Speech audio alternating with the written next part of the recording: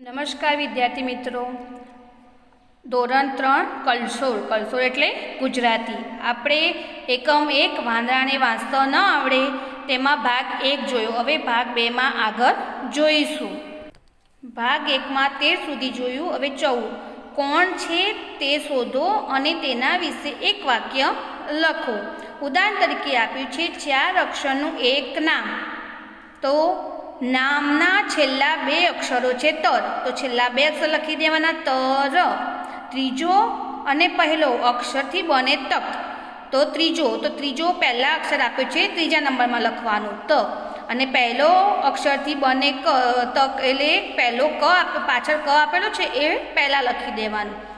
તો એ કોણ હશે? તો કબૂતર તો એના વિશે વાક્ય લખવાનું છે, કબૂતરને ચણતા જોવાની મજા પડે. હવે આગળ આપ્યું છે, ચાર અક્ષરનું એનું નામ. તો નામના પહેલા બે અક્ષરો છે, કરો. તો પહેલાં લખી દેવાનું, કરો. પહેલો અને છેલ્લો અક્ષર બને કયો. તો ક લખવાનો અને છેલ્લો યો.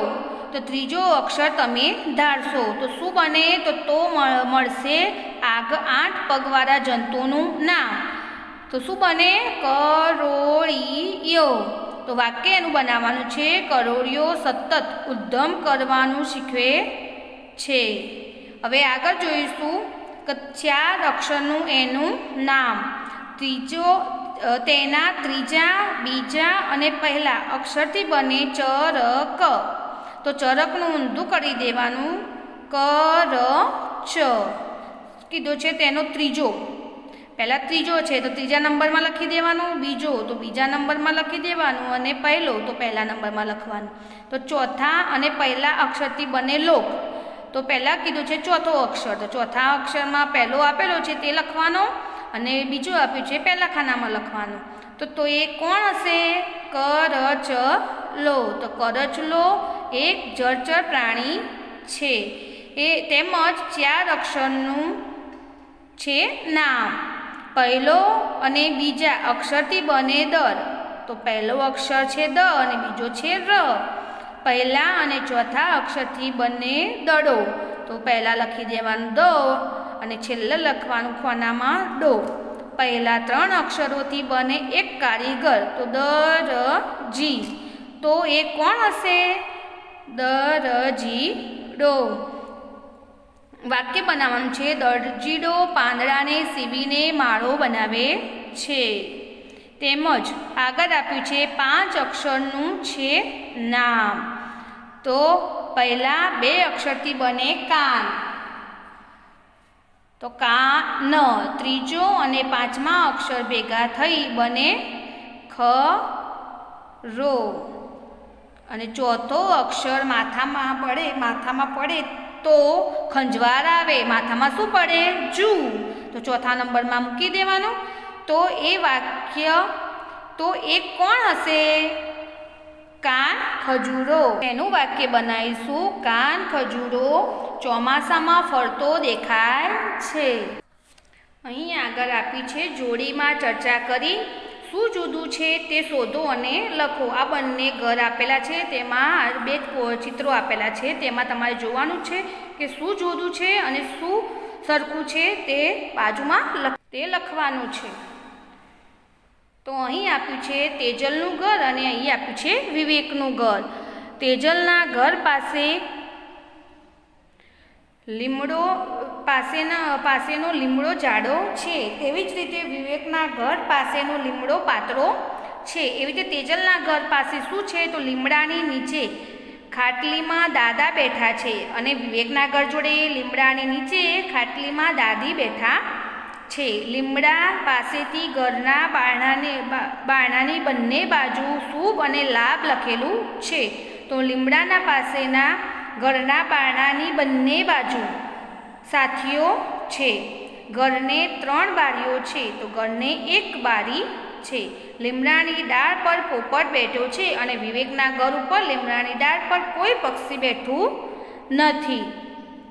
હવે આગળ કહો, તમારા ઘર વિશે શું શું ગમે છે અને કયા કયા ફેરફાર કરવા જેવા છે તેની તમારા દોસ્તો સાથે વાત કરો. લખો, તમે તમારું નવું ઘર બનાવો. તો કેવું હોય તે લખો. ક્યાં હોય, કેવડું હોય, કેવી વ્યવસ્થા હોય, કેવા રંગનું હોય, શું નામ રાખો, તે તમારે લખવાનું છે. હવે આગળ છે તમારે તમારા મિત્રના નવા ઘરે રહેવાનું હોય, તો સી મજા પડે સી મુશ્કેલી પડે? તો વર્ગના બધા વિદ્યાર્થીઓ નામની ચિઠ્ઠીઓ બનાવો. વિદ્યાર્થીઓ વારા પરથી એક ચિઠ્ઠી ઉપાડશે. તે ચિઠ્ઠીમાં જેનું નામ હોય તેના નવા ઘર વિશે વાંચી ત્યાં રહેવામાં તેને શું મજા પડે, કે મુશ્કેલી પડે, તે જોડીમાં બેસી એકબીજાને કહેશો. ચાલો ગીતડું ગાઈએ ગીતડું. તો જે આગળ આપ્યું છે ગીત તે ગાવાનું છે. ઉંદરે છે દરમાં. અહીં આગળ આપ્યું છે રીડિંગ ક્રિકેટ. તો વિદ્યાર્થીઓ બે ટીમ બનાવો. વર્ગની સંખ્યા વધારે હોય તો દસ દસની ત્રણ ત્રણ ચાર ટીમ બનાવી શકાય. એક ટીમનો એક વિદ્યાર્થી વર્ગ સમક્ષ આવી નીચેનામાંથી એક વાક્ય મોટેથી વાંચશે. તે વખતે તે વાંચવામાં કોઈક ભૂલ કરે તો બીજી ટીમના વિદ્યાર્થીઓ આઉટ એમ અપીલ કરશે. શિક્ષક તરીકે તમે એમ્પાયરની ભૂમિકામાં રહો. દરેક સાચા વાક્યના દસ ગુણ મળે, એક ભૂલ થાય તો એક ગુણ કપાય. આ રીતે જે ટીમના સભ્યો વધુ ગુણ મેળવે, તે રીડિંગ ક્રિકેટમાં વિજેતા બને. આપણે આગળ જોઈશું, અહીં આપણે આગળ જોઈશું. ગગન જગનના ગામમાં જા, ગામે ગામ વરસાદ ગાજે. અજગર અને કેસર વાદળમાં છપછપ કરે છે. બે બે બે કરતી રાણી બકરી ઈયર પાસે જઈને પડી. ઝાકર દીદી સૂરજભાઈને મળવા હળવે હળવે ઘરે ગઈ.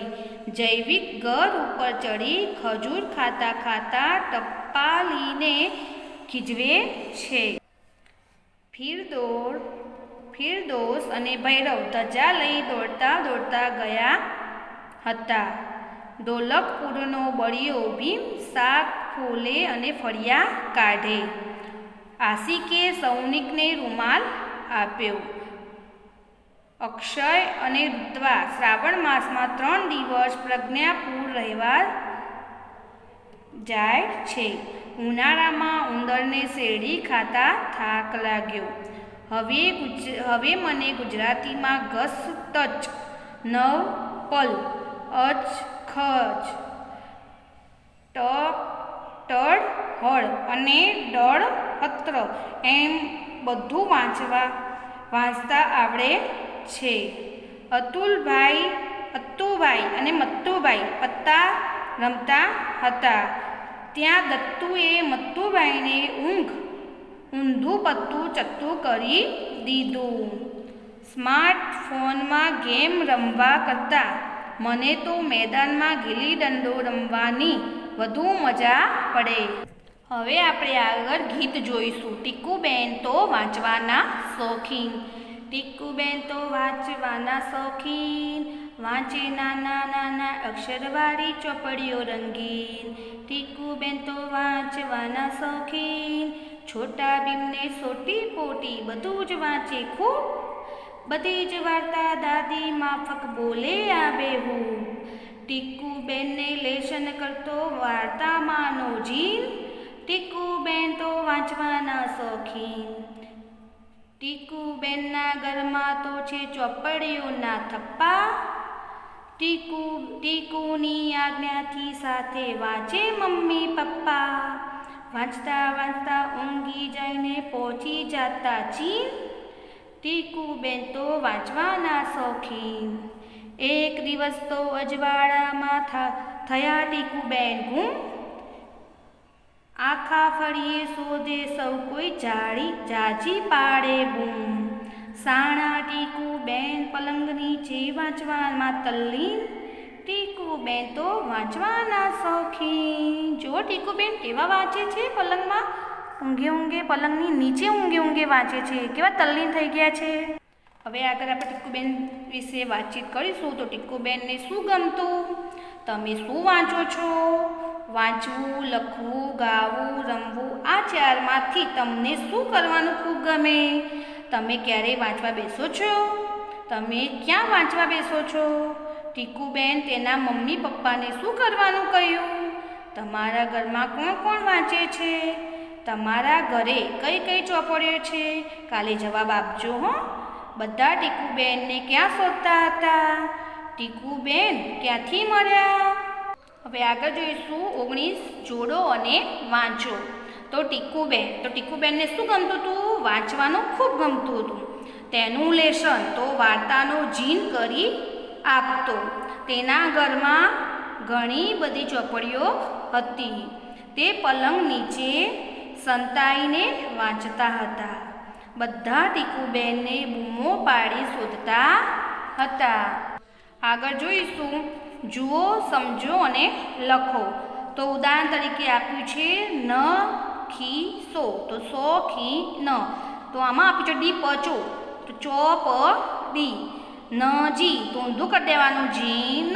સાચો શબ્દ લખાઈ જશે. ન, સ, લે. તો લે, સ, ન. એ રી ફ તો ફ રી એ નહે બ કુટી તો ટીકુ બહેન હવે આગળ છે ગ લંબ તો પલંગ જ્ઞા આ આ, જ્ઞા. અડા અડા વા જ અ, તો અ, જ, વા, અડા. આગળ જોઈશું. તમારા મિત્ર સાથે જોડીમાં બેસો. ગીતના બીજા પાંચ શબ્દ ઉલટાવી લખો. હવે તમે અને તમારા મિત્ર એકબીજા સાથે ચોપડી બદલાવી લો. તમારા મિત્રએ ઉલટાવેલી શબ્દો તમે સાચી રીતે લખો અને તમારા ઉલટાવેલા શબ્દો તમારા મિત્રને લખવા કહો. તો તમારે તેના શબ્દો આડાવડા લખવાના અને સીધા શબ્દો આ બાજુમાં લખવાના. ઓકે? હવે આગળ છે મોટેથી ગાઓ. જાણે મોટો કારીગર ગુંથી ગુંથી બનાવે ઘર, એવું પક્ષી કયું વર ડાળે લટકે જેનું ઘર